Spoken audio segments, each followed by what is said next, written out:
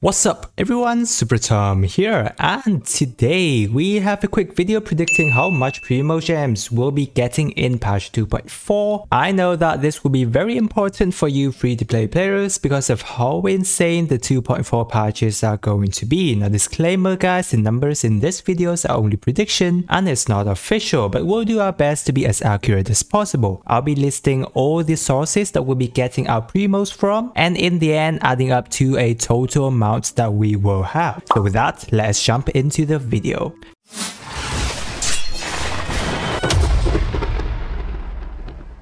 First off, we have our daily commission as always. A patch goes for approximately 40 days and each day we get 60 primos, so we get 2400 gems from daily commission. Next, we got Spiral Abyss. There will be 2 Abyss reset every patch and each give you 600, so that will be 1200 gems from the Abyss. In 2.4, we will have 2 new hangout from Ningguang and Yunjin, which each give you 60, so that's going to be 120 from new hangout events, there's going to be Shenhe story quests as well and we normally get 60 primos from that. There will be 4 main character demos which is Shenhe, Xiao, Ganyu and Zhongli's and each give you 20 for every demo, timing that by 4 and we get 80 primos from character demos. Maintenance we usually get 600 in the version 2.4 update and the other day you also get a 300 gems from livestream code as well. Together that will be 900 gems from maintenance and live stream codes. Every patch we also have HoYoLAB Check-in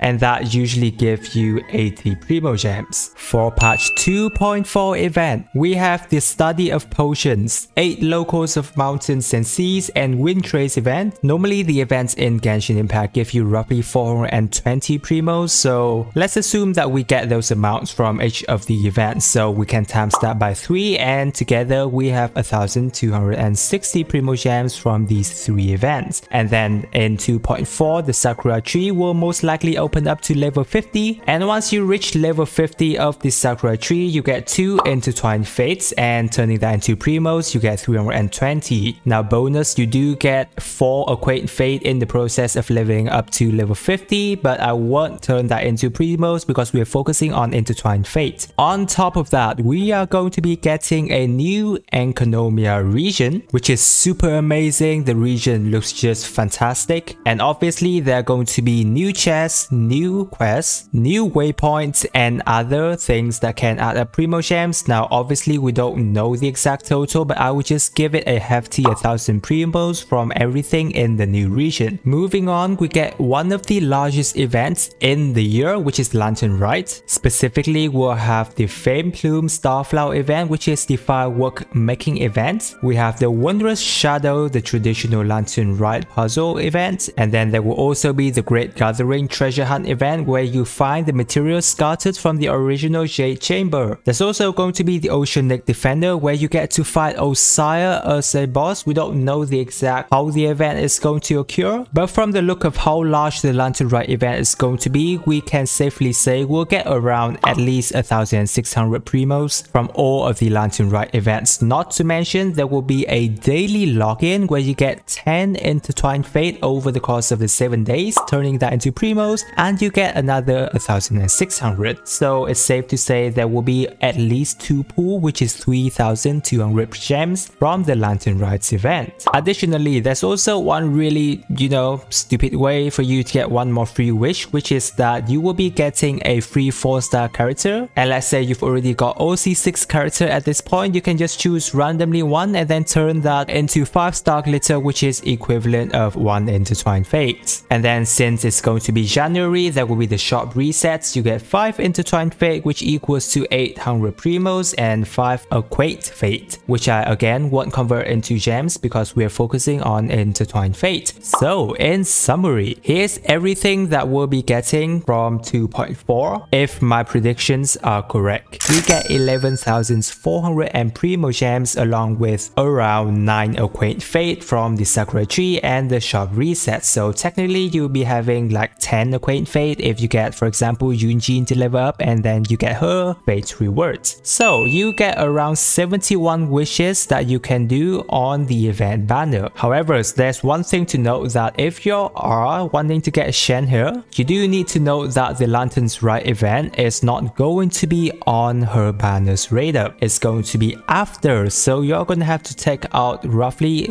3200 gems from this total, which is 50 wish that you can do for Shenhe's banner. Now obviously, we're always hoping that MiHoYo is going to drop us more free gems than this, but that's roughly is going to be the total amount if you're playing freely without buying anything. Now if you're getting the Welkins, you will be getting another roughly 3600 gems, which is equal to a little bit over 2 pools, which I do usually recommend because it's just an amount of a cup of tea. And so guys, that's my rough estimation on how much gems you will be getting in patch 2.4. I wish you good luck on whichever characters you decide to pull. However, if you're still having trouble to choose which is the best character to go for in patch 2.4, then I have a video that goes very in depth into the banners of patch 2.4 and 2.5, helping you to make the best decision. I am sure that will be greatly helpful to you. So if you enjoyed the video, be sure to subscribe to my channel for more of my Super Genshin guide, builds, and tips and tricks. And with that, I hope you have a super day and I will catch you on the next video.